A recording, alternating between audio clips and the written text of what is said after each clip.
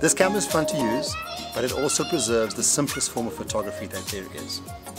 You point the camera at something you love, press the shutter, and out comes a print that is a permanent memory that you can keep. And there is no editing involved.